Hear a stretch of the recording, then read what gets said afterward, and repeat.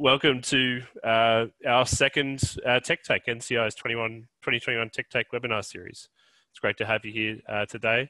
Um, before we get started, I just wanted to acknowledge that we are hosting this webinar from the lands of the Ngunnawal people, uh, who are the, uh, the local Indigenous uh, people of the ACT region. Uh, I acknowledge the traditional custodians of the various lands on which you're all at work. You are all coming from us today, and the Aboriginal and Torres Strait Islander people participating in this webinar. Uh, pay my, I pay my respects to elders past, present, and emerging, and celebrate the diversity of Aboriginal peoples and their ongoing cultures and connections to the lands in Australia. So, what is TechTake? Well, TechTake was uh, put together by the NCI Communications and NCI Training team to increase the awareness of the utilization of the cutting edge technology of HPC data science, AI, and cloud computing. Speakers will demonstrate how their advanced research makes good use of NCI's resources and services effectively and efficiently. Uh, invite, we'll be inviting prestigious national and international researchers, industrial leaders, and technical pioneers to share the latest technology of HPC and applications, and that's who we'll be hearing from today, actually. Uh, mark the date uh, in your calendars. We are usually coming to you, coming to you on the last Tuesday at 11 a.m. Australian Eastern, Eastern Standard Time uh, each month. Uh, today, obviously, that is not the case uh, because we have our international guest speaker today. Uh, we've made a slight change to the schedule. Uh, speaking of our guests today, we will be talking with uh, Dr. Peter Dueben, who's the coordinator of machine learning and AI activities at ECMWF uh, which is the European Centre for Medium Range Weather Forecasts. Uh, Peter is a Royal Society University Research Fellow in the Research Department of ECMWF. He has prof- professional interest in high resolution weather and climate simulations, high performance computing for weather and climate models, and machine learning for weather and climate predictions. So uh, we'll go ahead and start the tech take here. Uh, you might be able to see Peter there just in the in the uh, little Zoom window. Uh, we're going to kick off with a recording uh, that Peter has uh, put together for us regarding his re- regarding his work, which will run for about 30 minutes.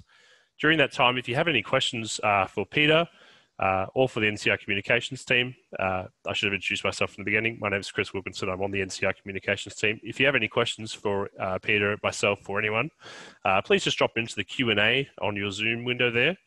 Uh, if there's any other comments you want to make, just use the chat window there as well. Uh, Peter, we'll, we'll, be doing a 30-minute Q&A following the recording live with Peter as well. So if you'd rather ask a question in person to Peter, uh, we'll have that ability as well, uh, just using the raise hand functionality. You can see probably see my hand raised there in Zoom. So you just click the raise hand, lower hand button. Uh, but for now, I'll watch the recording. If there's any questions, like I said, just drop them in the Q&A. Uh, without any further delay, let's get started. And hopefully everyone can see that. Thank you. Hello, my name is Peter Düben, and I'm going to talk about the next decade of machine learning at ECMWF, and I will give an introduction to the machine learning roadmap. And I am the AI and machine learning coordinator at ECMWF. And before I'm going to talk about machine learning in particular, I'm just going to talk briefly about ECMWF. So we are the European Center for Medium Range Weather Forecasts, and we are a research institute, but we're also a 24-7 operational weather service for medium range monthly and seasonal forecasts. And we are an independent intergovernmental organization supported by the 34 member states that you see on the map on the right. We are based in Reading, but um, we are also now going to have another facility in Bologna and in Bonn. And as we do operational weather predictions, we have two supercomputers on site and we're also the home of the so-called integrated forecast system, which is one of the leading global weather prediction systems of the world.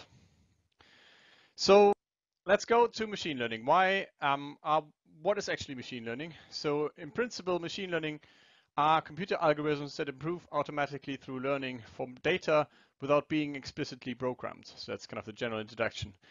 And there are two different classes of machine learning algorithms um, that are building the most important parts of machine learning. One of them is what we call supervised learning. And here you basically learn a non-linear mapping between different fields. So you have input data, you have output data, you have a loss function, and then you basically learn the mapping between the input and the output data. And this can be done in a very complex way with very complex um, tools. And the other option is um, the so-called unsupervised learning. And what you do here is that you kind of generate a lot of data And then you try to kind of um, develop or understand some structure within this data using what we called unsupervised learning. Um, why should we look into this in principle and why now? Um, so on the, the figure on the right is showing um, the the different supercomputers that we worked with at ECMWF um, in the last couple of decades. So the x-axis is time here in years, and the y-axis is the sustained um, performance in teraflops that we had at ECMWF on site, and the different boxes are the different computers. And what you see is basically the orange line here is a high performance computer growth, which is a linear line over time in this plot. And this plot is logarithmic. So therefore it's an exponential law and that's nothing else but Moore's law. But there's also the blue line of the data archive at ECMWF, and you will see that it's also roughly linear. So there has been an exponential increase of data volume at ECMWF. And um, we need to kind of make sure that we can somehow handle this data in the future as well. And therefore, machine learning as a tool to actually extract information from data and to learn something from data is very important. But also, there has been an enormous increase in knowledge of how we do machine learning. So, uh, about something like 100 papers per day published on machine learning. So we have an enormous increase of our knowledge how we actually build the perfect machine learning tools for specific applications. And therefore also machine learning is playing a, a more and more important role in the future. However, there have also been a, a, a significant um, increase in the availability of supercomputing hardware for machine learning. So this um, slide, I've, I've, I've, stolen this slide here from Torsten Hoefler, where he tried to collect all the different companies that are involved in developing hardware for machine learning.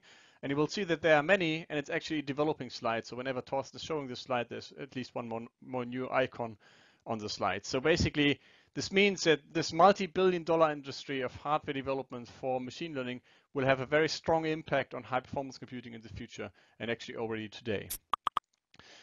And also, um, there is uh, there are a lot of machine learning software tools available that actually allow um, you, even if you don't have any idea about machine learning in principle, um, you could really build um, very effective and very efficient machine learning tools that are quite complex based on a couple of hundred lines of Python code. So basically, there's also the software framework around that really um, is required to make um, fast developments. So that's in general about machine learning. Probably most of you have known most of this already. But what is actually um, the interest uh, to perform machine learning for weather predictions and also climate predictions in principle? So let's uh, let's see what the difficult part is about weather and climate predictions. And I'd like to show this figure here, which is one of the pictures from one of the Apollo missions. And you see the Earth, and you see the, all the problems that are, that we have when we want to basically simulate um, the Earth for weather and climate. One problem is um, that you basically have a very complex system with a lot of different components like um, sea ice, land ice, cloud physics, um, atmospheric chemistry, land surface, atmosphere itself, ocean itself, interacting with each other. So there are a lot of different components, and this means that our models have to be very complex with something like a million lines of, of, of, model code, basically, to represent all this complexity. But also the different components follow typically nonlinear differential equations and show chaotic dynamics, and therefore it's very tricky actually to kind of simulate those things with a computer because you have exponential growth of errors. And to make the things even worse, the Earth is very big as well. It's huge, basically. So um, this means that even with the fastest supercomputers, we are not able to run um, models of atmosphere and ocean, for example, with higher resolution than something like 10 kilometers or um, for, for global weather and climate predictions. And this means that we have to truncate those scales. And as we truncate, we're basically going to lose information and um, we need to represent those subgrid scale features one way or the other in the system because we have a multi-scale system. So it's just a very difficult beast um, to simulate the Earth system. On the other hand, we have an enormous amount of data available. So if you think about um, the data that we have, we do not only have observations from various different sources, but we also have a lot of model data available. So we're talking about hundreds of petabytes of data that we store at ECMWF, for example, that are related one way or the other to the Earth system. And if you put those two points together, you have a, um, a very difficult system to, to work with. And on the other hand, you have a lot of data then it's quite clear that if you had a tool that could actually learn nonlinear complex dynamics from data, this tool would be very useful. And this tool is machine learning. So basically, there are many application areas for machine learning throughout the entire workflow of numerical weather predictions, where we think that machine learning could really make a difference. And on the other hand, also, as I told you before, uh, machine learning also provides a number of opportunities for high performance computing. And even if you're not interested in machine learning whatsoever, you should still be interested in what machine learning is doing at the moment to the hardware which is available for the future. So even um, if you're not interested in, in deep learning, for example, you should still think how you could use high performance computing um, hardware, which is de um, developed for deep learning in particular for conventional tools. Okay, um, so why is it actually also timely to look into machine learning right now? Um, there are two things going on here. the first of the thing is in Europe, um, is, is, a project which is called Destination Earth. And Destination Earth is basically, the aim of this project is to build what we call digital twins of the Earth. So you basically try to generate a very digital representation of the Earth system. And if I um, show you this plot here, it's basically very similar to the to the um, to the plot that I've shown you earlier. But what you see in here is basically on the one side a model simulation and on the other one a satellite observations. And basically you will see that they are very similar. So we're talking about a, a, level of details in those models that you can literally talk about a digital twin, a digital representation of the Earth. And on the other hand, we have what we call the digital revolution of Earth system sciences, um, as kind of explained in this um, article on the right. What this basically means is um, our models have evolved over decades and they've grown and grown in complexity and it's now very difficult actually to port those models, for example, to GPU hardware and also other hardware which is going to be there in terms of uh, in a time where we really have to, to be able to kind of uh, port the same model codes to very different hardware components, which we call heterogeneous hardware infrastructure. And this is quite tricky, and therefore we basically need uh, something like a revolution actually to make our models fit to actually run on different hardware and run efficiently on this hardware. And machine learning fits in quite well. So if you talk about the details of this digital revolution, um, I've just reproduced a plot um, from this paper. We have individual components that will help us to tackle this challenge of um, the digital revolutions. And one of them is machine learning here in red. And if you now think about how the different components should progress the state of the art, which is in the, in the center of this figure, and as you go to the outside towards those different angles, you will basically increase the state of the art um, towards, for example, code portability, system resilience, and so on and so forth. And where we really think machine learning is going to make a difference is code portability, um, time and energy solution, and Earth system complexity. Um, so we really kind of, the machine learning will really be, bring something to the table here and make a difference. So the big question right now is basically what will machine learning look like in 10 years from now? How strong is going the impact of machine learning going to be um, on the state of the art uh, um, if we kind of just look into the future for 10 years. And I like to show this scale here. So on the left is a scale. You basically have um, that machine learning will have no long-term effect whatsoever. It's basically just a wave passing through, and we will we will not really uh, change the state of the art much um, with machine learning. And on the right side of the scale, basically we have the opposite, which means that machine learning will actually replace most conventional models, and we will do more or less nothing else in machine learning in the first place. And the question is like, where are we on the scale? Are we going to be on the left side or are we going to be on the right side? And basically, um, the, the, the, this is still up for discussion. So we really don't know exactly where we're going to be. The uncertainty to answer this question is very large. So let's just assume that we're going to be on the very right side of the scale and that machine learning is going to, to basically replace everything else. Um, so what would this world look like? So let's test this. Um, let's answer the question whether we can replace conventional weather forecast systems by deep learning entirely.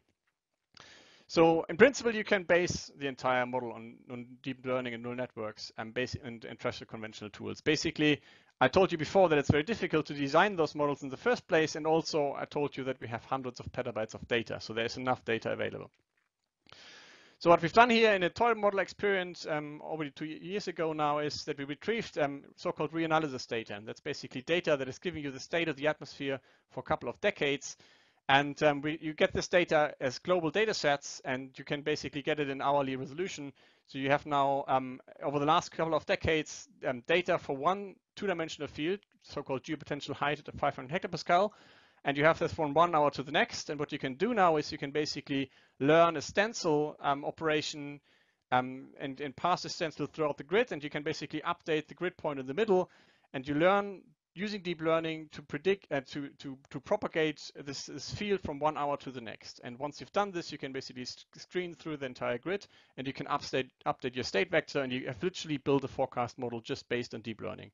There's no physical understanding required here whatsoever.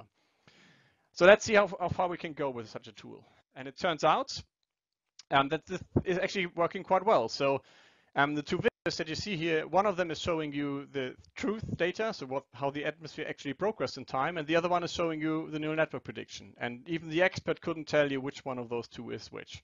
So it's literally um, that the, the neural network picked up the dynamics very nicely. Then the next question is a forecast error. So on this plot on the right, you basically see the forecast error on the y-axis, and you see the time of days on the x-axis for a five-day weather prediction. And what you should see is that um, basically the, the black line here is a neural network forecast error, and the blue line is a very, very, very coarse resolution um, conventional tool. And what you should see is that basically both of those models are fairly similar in terms of the quality. So it's not that one is much, much better than the other, but they are kind of comparable in terms of the complexity. They're both far, far away from the operational weather predictions, which is the magenta line here. So it's not that this could compete with what we're actually doing right now in operational predictions, but it's still impressive how good the neural network in principle is.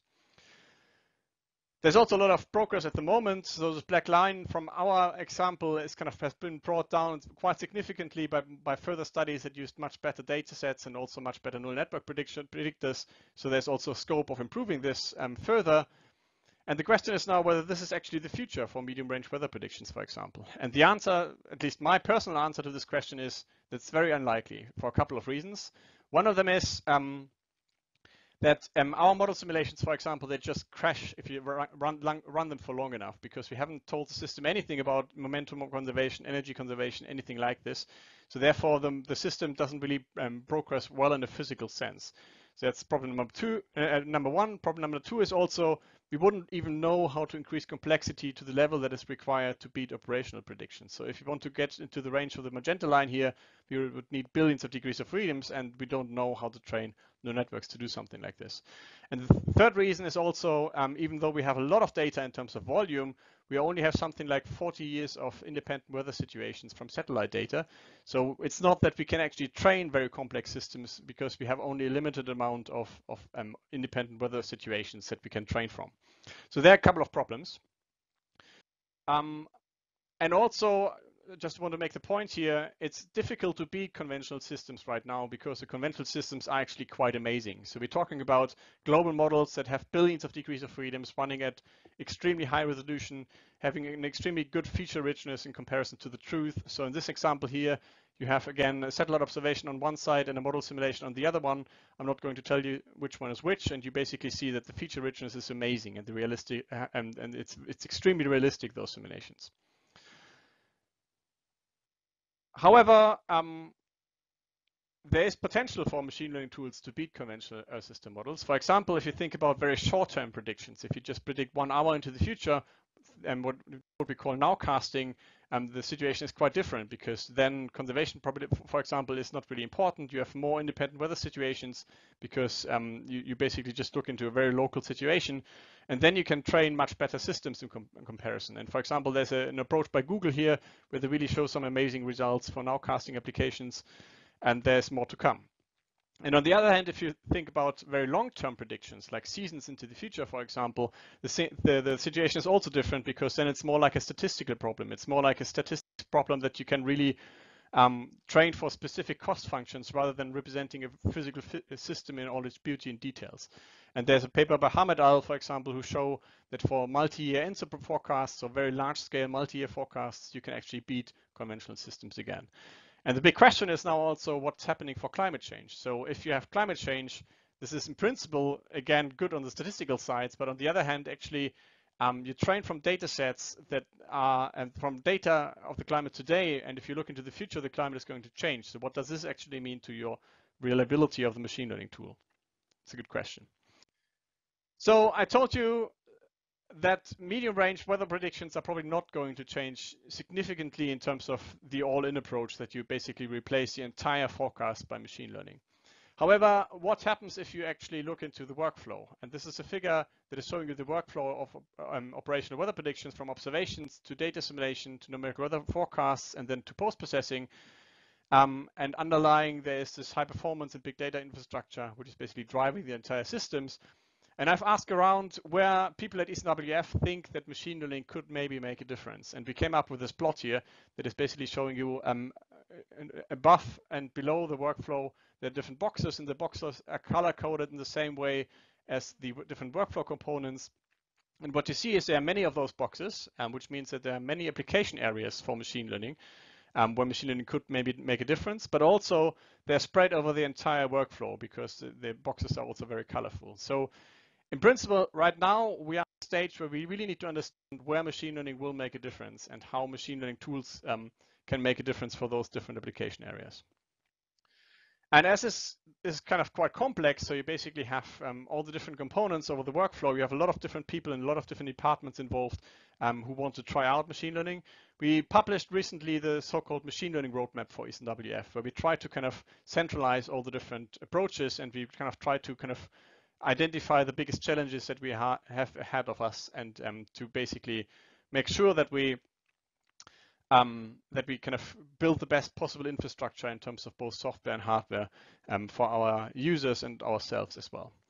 So we have a timeline in here. I'm not going to go into the milestones in detail on this slide. So what I'm going to do is I'm going to talk you through the challenges that we've identified, and then I'm going to talk you through the milestones that we've defined to tackle those challenges. So these are the challenges milestones now.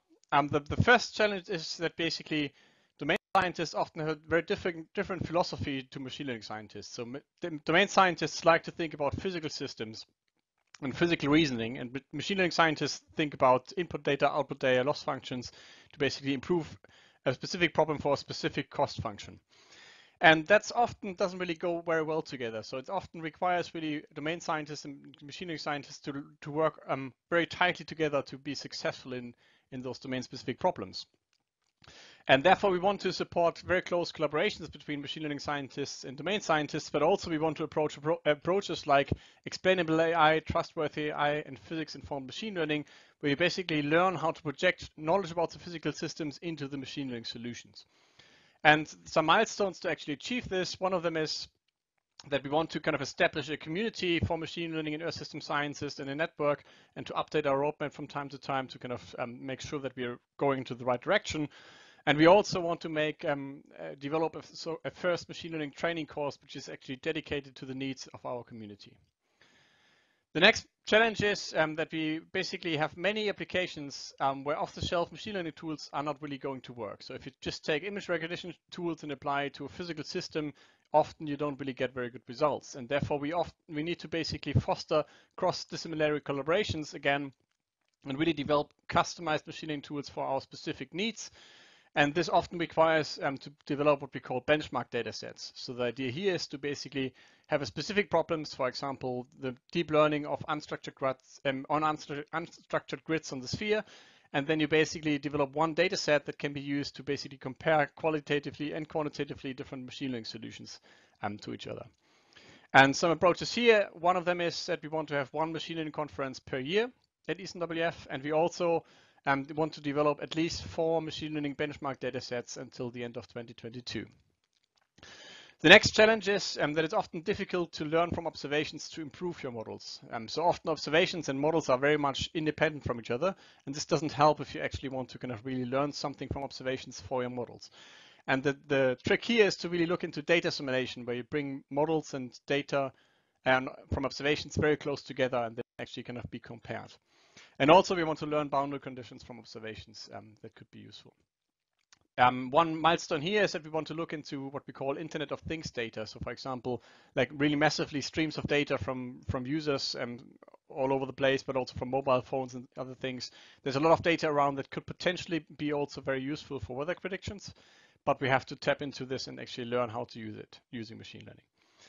The next one is a data avalanche. Um, so basically, um, Machine learning users are very data greedy. They want to have a lot of data, and this is putting quite a lot of pressure on our data retrieval systems. And the, the trick here is to anticipate the data access um, that machine learning users may have and channelize requests, and again, develop benchmark data sets that could satisfy more than one user, but also um, really make use of efficient um, hardware um, in, in, terms of the, the data structure and data retrieval.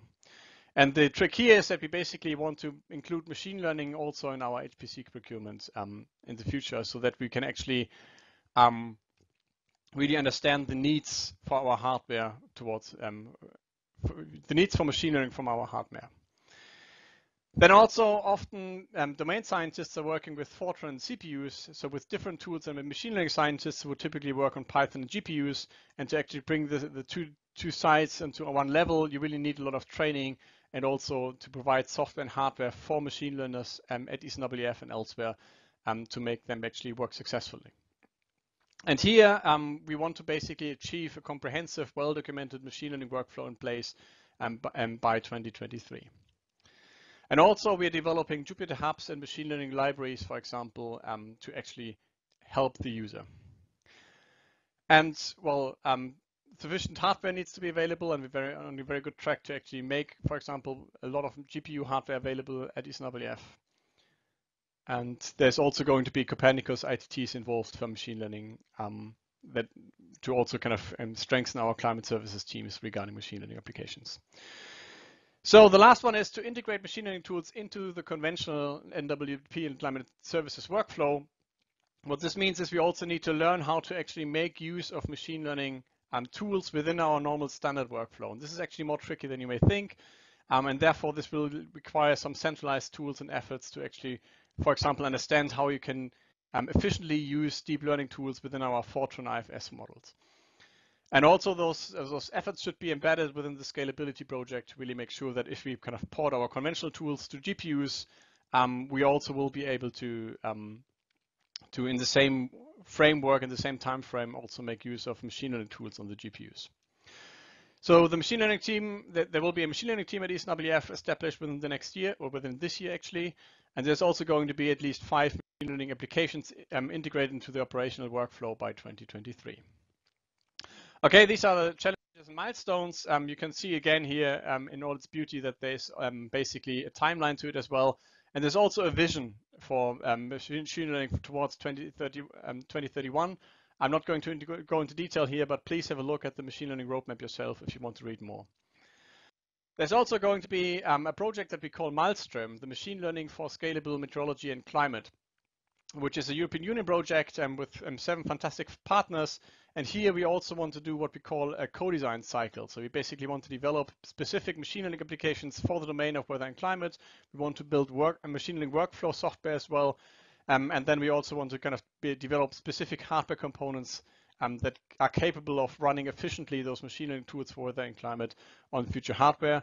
And we will have different um, products as well um, for example, benchmark data sets, machine learning solutions, um, the workflow tool as such, but also compute system designs to really make the best out of machine learning for weather and climate.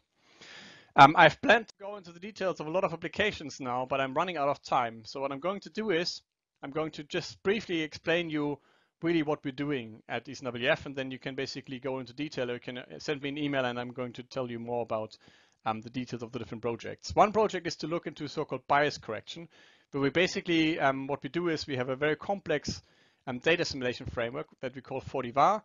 And there you basically have the trajectory and the observations very close together. And what you can do is you can basically um, run the model forward for a couple of hours and then compare against the change of the observations. And you can do this in a way that you can actually try to learn the error of the model for short-term forecasts. And once you've learned the error, you can actually correct for the error in the forecast. So that's one way where we can really bring, bring together observations and models very efficiently with machine learning. Another way is to basically um, parameterize, uh, emulate different parameterization schemes. So the idea here is that you take a specific model component that is expensive, for example, a parameterization scheme, and then you basically um, you learn to do the, the, the, same step that the parameterization scheme is doing with a deep neural network, so with machine learning. So you just have inputs and output pairs of the parameterization scheme, and you just learn to do exactly what the parameterization scheme was doing in the first place using deep learning. And the hope is why you would do this, that you actually want to replace those parameterization schemes on the long term within your machine learning solution, uh, with your machine learning solution. And you would do this because you can, um, it, the neural network is almost guaranteed to be more efficient in terms of the computation and also it's going to be portable. So it's very simple to port a neural network to a GPU, whereas it's very complicated to port some of those parameterization schemes to GPUs. And we have quite good um, results by now where we really can kind of um, emulate those parameterization schemes and port them and also kind of get good results in terms of quality, but also in terms of performance. There's also an approach um, taken by uh, Jan Ackmann at the University of Oxford where we're kind of looking into preconditioning. So um, in some of the models, we need very large, to, to solve very large linear systems. And um, basically the idea is that we kind of precondition our, our, linear solvers that we're using with machine learning tools. Um, and this is also kind of working quite successfully, but more details can you, you can only get if you, if you um, um, approach me by email. And also, finally, um, there are kind of some mapping procedures if you think about the model output, um, where we basically learn how to to kind of um, predict uncertainty as well, not only just kind of to to improve our results in terms of model bias in comparison to the truth, but also in terms of the uncertainty presentation, in particular in what we call um, the so-called ensemble approach, where you basically learn the distributions for a specific ensemble um, using machine learning and you try to basically improve your results of ensemble predictions. And finally, um, there's one example here that I wanted to talk about, um, which is basically describing how we can use deep learning hardware um, for conventional models. So the idea here is that you have deep learning hardware, for example, the so-called tensor cores from NVIDIA and Volta GPUs. And what they do is they do nothing else than half precision matrix matrix multiplication. Um, and but they do this this kind of one step extremely efficiently. So if you think about the, the peak performance, those tensor cores have a, a, peak performance which is 16 times faster than if you would perform the same operations in double precision on the conventional hardware. The question is, can we actually tap on this? Can we actually use this hardware for something useful also in conventional tools? And um, basically the answer to this question was investigated by um, Sam Hatfield from the University of Oxford back then, but now also at ECMWF. And he tried to, um, to emulate those tensor cores for the most expensive kernel that we have in the model, which is a transformation between grid point and spectral space. And it turns out that you can actually use this hardware as well and get very good results in terms of forecast quality. And um, well, yes, we, we are quite certain that this would also really increase the speed of our applications as well. So these are the conclusions now. Um, um, however, I've, I kept them very general in principle, so I'm not going to read them out loud now. Um, but I want to thank you for your attention. And if you have any questions, um, please ask them, obviously after the recording, but also um, please contact me via email or Twitter or whatever. And I, yeah, thank you for your attention. Okay, thank you, Peter. Um, we'll now jump into the uh, Q&A part of uh, today's Tech Take. Uh, so I'll reintroduce Dr. Peter Dueben here on, on screen. And uh, Peter, I think we have a question already, um, which I I might just read out to you to uh, on behalf of Paul Leopardi, and perhaps if Paul, if you want to have a bit of a follow up with this, we can um, we can get you on microphone as well. But uh, Paul asked, how is machine learning being used to estimate the statistical distributions involved in ensemble forecasting, both model and data distributions? Could the knowledge from machine learning be used to optimize ensemble processing in some way? Yeah, yeah. Hi, me in life again. Um, so yes, this is a re really a very, very good question. I actually, um, I have one slide on them, but I jumped over the slide, so I can probably just just share my screen for a second and just present the slide um, in a bit more detail. Um, so you should see my the slide that you've just seen um, a minute ago, basically uh, live now. And what you see is basically on the left, there's what we call an ensemble forecast. So in weather predictions, we often do uncertainty quantification by, whoops, uh, by actually looking into ensembles of predictions. So we have um, not only one trajectory, but a couple of them.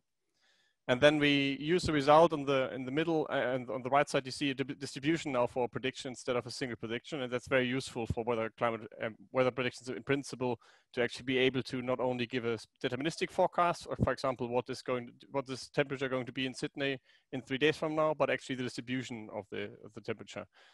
And it turns out that um, machine learning can be used very successfully to actually improve those ensemble um, simulations. So instead of running a lot of ensemble members, you can also run a, a smaller number of ensemble member plus a neural network prediction. And that's something that we um, try to, um, to, to, to, test uh, together, together with a group of Torsten Hoefler in, at uh, ETH in Zurich.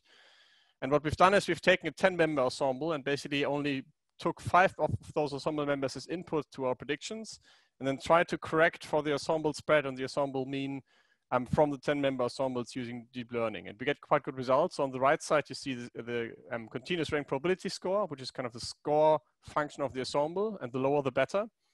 And you see on the right side, the E5 is a ensemble member, ensemble with five member has a certain distribution. And then if you go to 10 members, this run is obviously going to be more expensive, but it also will bring down CRPS. But if you now only take five ensemble members plus a neural network prediction, you get the green and the blue colors, and you will see that they're not only better than the five-member ensemble without post-processing, but they're also even better than the 10-member ensemble because you also do a bias correction at the same time. So actually, deep learning and machine learning can be used quite successfully to improve ensemble methods in principle. And this goes even further because um, uncertainty quantification in particular is really a very, very interesting application area for machine learning. The reason being that uncertainty quantification is inherently uncertain normally. You don't really know much know much about the theory of uncertainty, if you want, in, in such very complex systems. And therefore, it's something that you can learn quite nicely. And also, if you just learn the uncertainty rather than the de deterministic signal, you can also break less. So it's also about um, uh, if you if you kind of have a um, um, if you have a, a, model that is basically going has a, a, solution that has a bias, for example, for a deterministic problem, then um, this bias is going to grow over time. Whereas if you have a, bias and an uncertainty, uncertainty quantification which is instant from a specific um, solution, for example, it's it's not going to grow this much. So it's actually uncertainty quantification in particular, and therefore also ensemble simulations can benefit quite a lot from machine learning, I believe. So that was Thank what? you. Yeah, that was that was a uh, great question and answer there. Thank you, uh, Paul. Paul, if you if you want to follow up with that question, or please just uh, let us know. You can raise your hand. We can um, put you on mic. But we might just move on to the next question, which has popped up in the Q and A uh, while we were talking, and I'll just uh, read it on Julian's behalf uh, now. So the question is, what are the leading machine learning approaches used in ECMWF? And it seems that deep learning is dominating the work presented.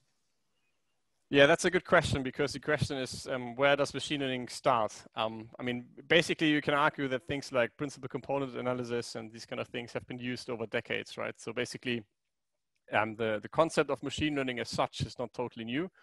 And it's widespread that people try um, or actually extracting information from data using methods, right?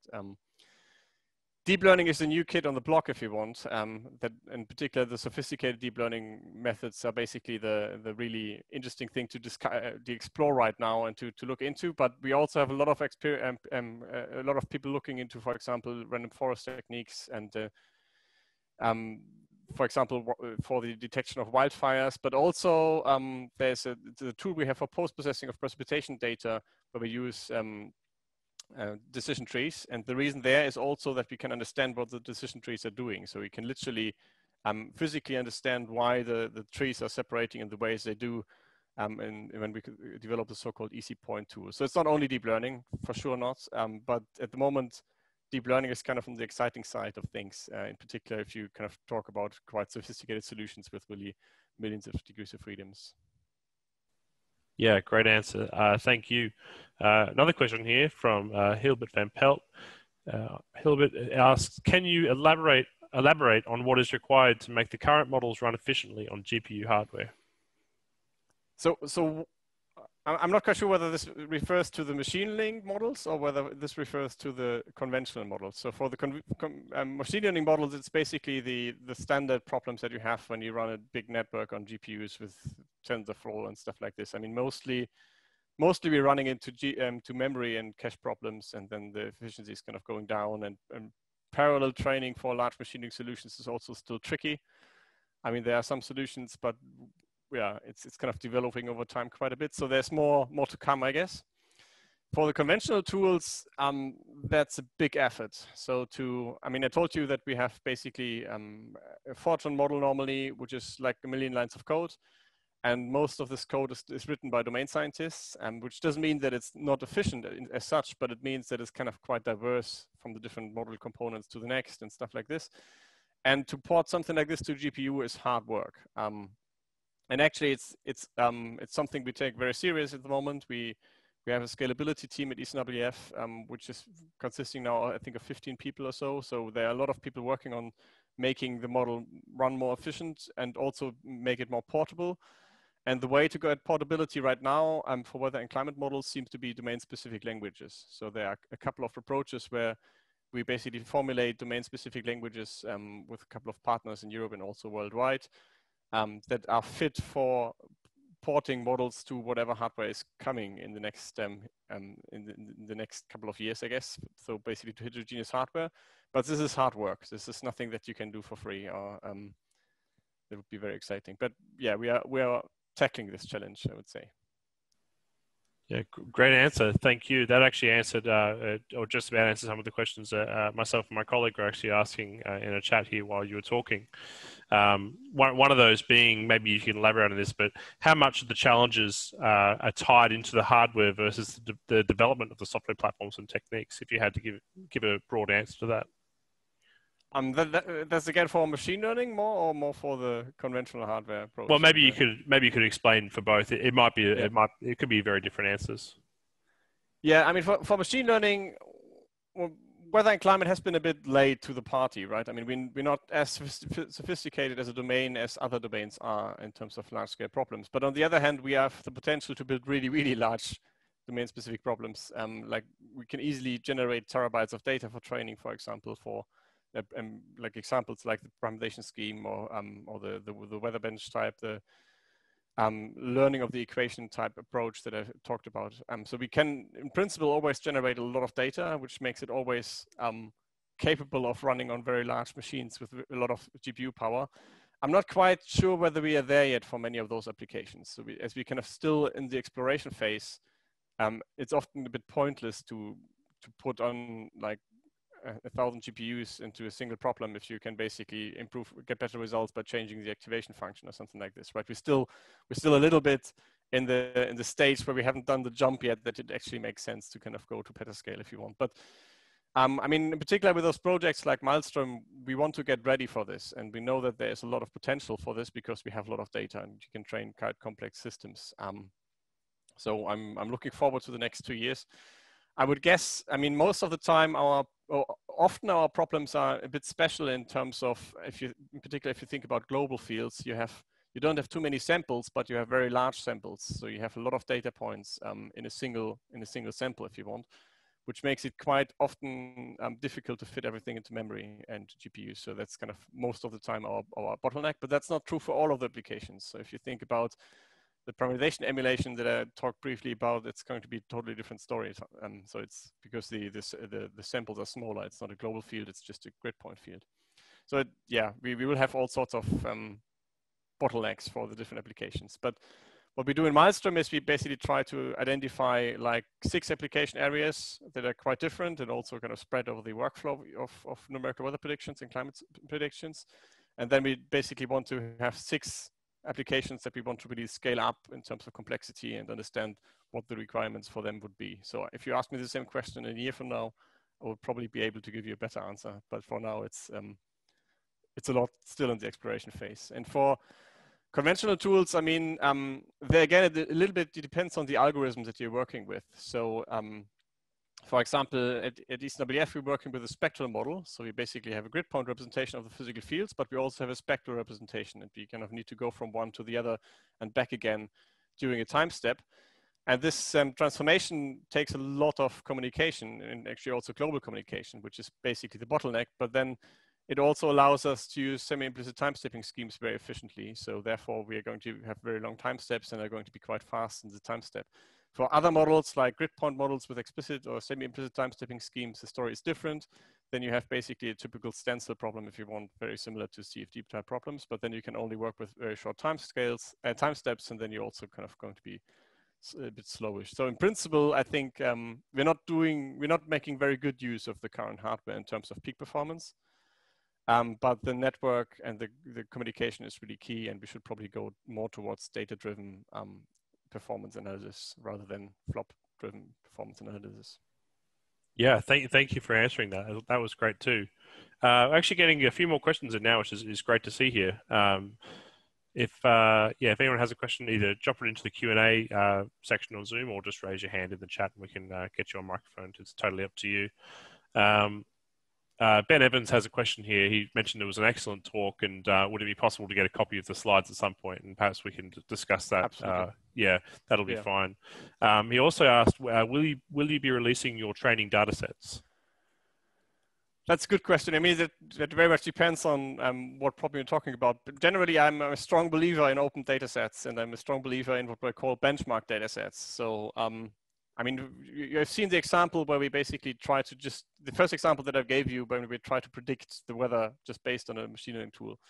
And for this one, for example, we have published a data set called WeatherBench, which we really wanted to make a benchmark test because we were seeing that several groups were looking into the problem with their own data set and you couldn't really compare the results, which is a pity.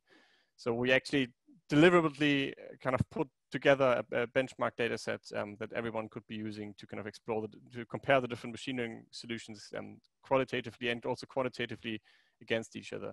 So yes, we have a very um, strong um, strong motivation to, to publish those data sets. And I think all the papers that we've published so far, we also always have published the data set with a, with a paper. Um, and we're also going to do this within the Maelstrom project. So for all, all those application areas, the idea is also to publish the data set, not only for machine learning scientists to actually improve on the solutions, but also in terms of a hardware benchmark um, that people can actually also do hardware benchmarking with those. But um, that's still yeah, the, the, the, first data sets are to be published there in like four months to come or something like this. So it's, it's still a bit um, early in the process. Um, for some of the data set, it's more tricky. If you, for example, have observational data that we use at ECMWF, we cannot just open them publicly available because it's not our data. We're using the data, but we're not, we're not, we do not own the data. So it's not always, always this, this, this is easy. Sure. Yeah. So maybe in the next uh, yeah four four four months or so, we might see uh, might see those, like you were saying. Uh, thank you. Um, Justin Freeman uh, has a, a, quite a long question here, so I'll do my best to read it out without tripping over my words. Uh, hi, Peter. How can we scale uh, slash adapt neural network architectures? I am thinking about convolutional neural nets. NWP data, for example, is big, lots of vertical levels, high spatial dimensions, and high frequency temporal information. The ERA 5 example in your presentation used a small part of a single vertical level. So can we train a model that takes in the full 80 levels of ERA 5 with global coverage, or do we wait until 2031?